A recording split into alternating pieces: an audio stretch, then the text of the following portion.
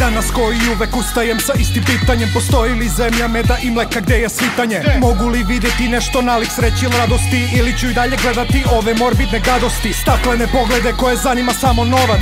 Gore dobano kad su Turci nabijali na kolac. Nadam se da ste spremni za simbolički masakar Jer neću poštovati pravila i neću biti kratak. Šta ako je Amerika dobra, a Rusija glavni krivac? Šta? Ako je Obama dobar, a Putin negativac? Šta? Ako je Stalin nacista, a Hitler antirasista? Šta ako heroj pobegne, a kukavica zablista Protrljajte svoje grešne oči, zatvorite srce. Nemojte u lavirintima obmane kao i juče. Moja pomoć vama je prosvetiteljska služba. Želim da vam otvorim oči gdje je nastala gužva Ja sam samo bela ovca i stado pratim. Sinoć smo se napili, ja i moj pobratim. Nemamo ni grama mozga, boli nas za sve. Nepismeni smo i glupi, nek se ruši svet.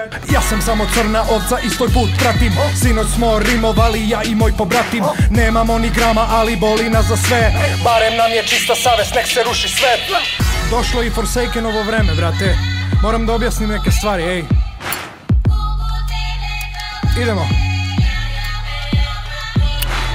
Pitanje kao građani Srbije znaš li svoja prava. Ustav ove zemlje ima 205 člana jednog vođu klana da pogodim. Nisi imao pojma to je tvoja mana. Kao gnojna rana Takvi ko ti pustoše ovu kulturu. Istorijsku avanturu nema veze da još jednu turu Prihvatamo diktaturu. Jesmo samo trule ovce Pijemo pelinkovce. Nije ni čudo što smo vatvi. Jednostavni takvi gorka pilula ko maksim. Ceo život se nigde ne uklapam nije do mene problem. Ceo modem našeg društva je za mene pravi bede. Prioritet vlasti je da održe autoritet Afinitet da sruše individualitet, identitet, imunitet Ko Tesla elektricitet previše kontinuitet. Ekstremitet, legalitet, publicitet, specijalitet Šta dalje pokret punom snagom? 100% kapacitet. Ja odbijam da budem samo truli mediokritet Ja sam samo bela ovca i stado pratim. Sinoć smo se napili, ja i moj pobratim. Nemamo ni grama mozga, boli nas za sve. Nepismeni smo i glupi, nek se ruši sve Ja sam samo crna ovca i svoj put pratim.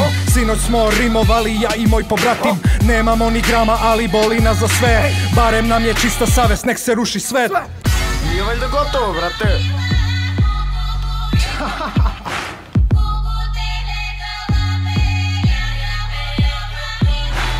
Mislili ste da sam gotov, tek sam počeo da silujem bit Provociram razmišljanje, svaki moj stih ko Vukov krik. Rečnik vam je kraći od jezika, šta je vaše uporište? Možda bi bolje razumeli psovke, prljavo kazalište. Ovde zarobljen između raja i pakla kao čistilište Moje utočište, sveska olovka, srce moje žarište. Žalim te i tebe i tvoj mozak što skuplja prašinu. Moj mozak ide 200 na sat, predstavlja ratnu mašinu. Svakog dana misli moje pljuju liričke metkove. Branim hop kulturu, boli me uvo za pare i čekove. Za nitkove koji nemaju nikakve ambicije sem alkohola Nova kola, budalaština, jedna pilula neštima Vaša sreća je beli prah, ano centar za prašinu. Od brzine gubite dah, gledate svoju lešinu. Ne podnosim tišinu, al ne treba mi droga da bi bio haj. Rimovanje moja struka, svi psi idu u raj. Ja sam samo bela ovca i stado pratim. Sinoć smo se napili, ja i moj pobratim. Nemamo ni grama mozga, boli nas za sve. Nepismeni smo i glupi, nek se ruši svet.